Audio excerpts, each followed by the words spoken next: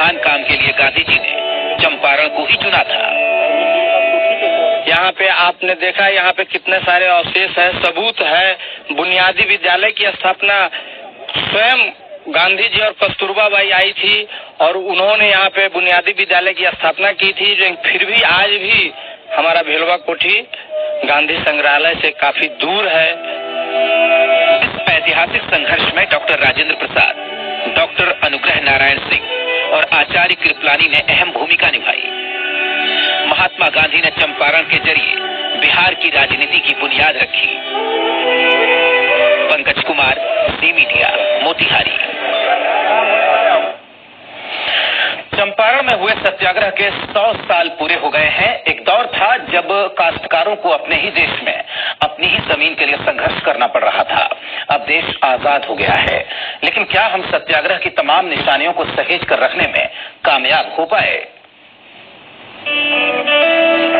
चंपारण में 1917 के आसपास नीलहा कोठी और अंग्रेज़ जमींदारों का आतंक चरम मोतिहारी में नीलहा कोठी के अवशेष आज भी बचे हैं।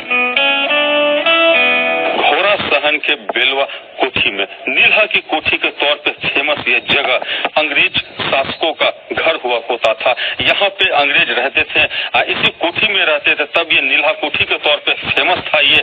और यहाँ पे अंग्रेज़ रह करके किसान इलाके के किसानों से ज़बरदस्ती नील की खेती करवाते थे।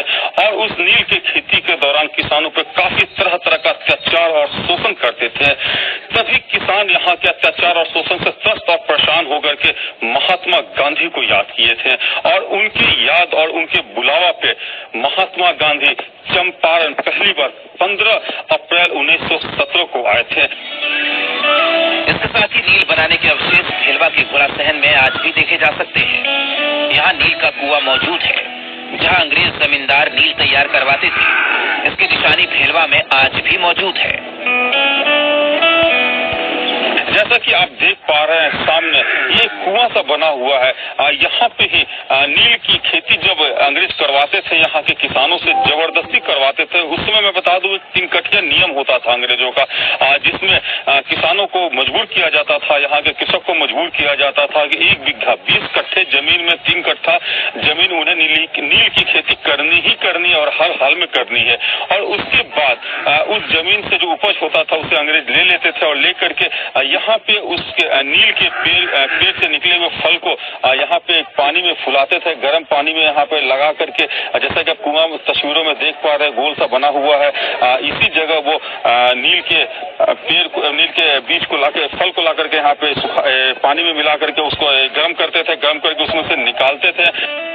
लेकिन गांधी जी से सीधा जुड़ा होने के बाद भी ये इलाका विकास की रेस में पिछड़ गया। आज भी यहाँ की बड़ी आबादी बेबसी में जीती है। स्थानीय लोगों में इस बात का आक्रोश है कि उन्हें गांधी जी से जुड़े होने का लाभ नहीं मिला। आज भी आप देख सकते हैं यहाँ पे जो हालात है स्थिति है उसे आपको मालूम हो सकता है कि हम लोग कितने अभी कोसों दूर विकास से हैं हम लोग।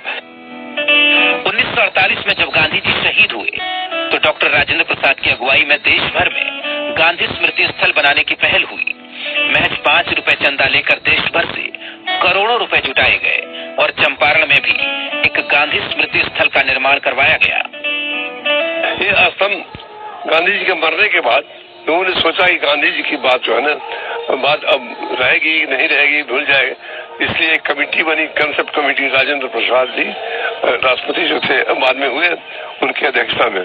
और चार करोड़ रुपया इकट्ठा हुआ और पाँच रुपए के कूपन से तो हुआ कि कहाँ पर कहते हैं इसी में सोलह देश में सोलह जगह बनाने का हुआ इसमें एक चंपारण को भी चुना गया है। मोहनदास करमचंद गांधी के नाम से देश और दुनिया में प्रसिद्ध रहे व्यक्ति को पहली बार अगर महात्मा का उपाधि या नाम से पहचाना गया तो इसी मोतिहारी के धरती पे जहाँ पंडित राम कुमार शुक्ला ने उन्हें पहली बार महात्मा कहा था। इस स्थल पर गांधी जी के विचारों को अंकित कराया गया। गांधी जी को जो फरमान अंग्रेज़ों ने सुनाया था, उसे बड़े शिलापट पर लिखवाया गया और वो जवाब भी लिखवाया गया, जो गांधी जी ने अंग्रेज़ों को दिया था। यह ऐतिहासिक धरोहर हमें हमारी गौरवशाली विरासत की याद दिलाती है। महात्मा गांधी की सारी बातों को अंकित किया है, इसमें उनके विचारों को अंकित किया है, उनके जैसे विचार हैं धर्मनिष्ठ का, उसको अंकित किया है रूरल इकोनॉमिक, ग्रामीण अर्थव्यवस्था को अंकित किया है। इस तरह से सारी बातें और उनके उद्देश्यों को अंकित किया है, ताकि नौजवान, युवा जो हमें पढ़े तो कम से कम पढ़ करके वो प्रभावित हो कि हमें भविष्य में क्या करना है। पूरे देश में चौदह जगह इस तरीका का स्मारक बनाया गया। जिसमें से एक मोतिहारी को भी बनाया गया। मोतिहारी इस वजह से कि मोतिहारी वो जगह है जहाँ पे मोहनदास करमचंद गांधी महात्मा बने थे। मोतिहारी वो जगह है जहाँ से मोहनदास करमचंद गांधी महात्मा गांधी ने वो आंदोलन की शुरुआत की थी, जो कि अंग्रेज़ों को देश छोड़ने के लिए मजबूर किया, कर दिया था। ये दस्तावेज़ है आज़ादी का। ये घोषणा पत्र है सच्चाई का। और ये हौसले की दास्तान है उस बापू की, जिसने न केवल जंग आज़ादी को कामयाबी दी, बल्कि पूरी दुनिया को इंसानियत और प्रेम का पाठ पढ़ाया।